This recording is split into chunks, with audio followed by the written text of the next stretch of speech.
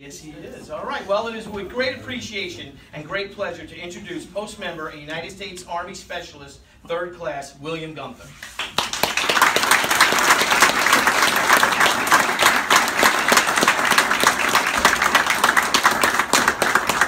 I'm sorry,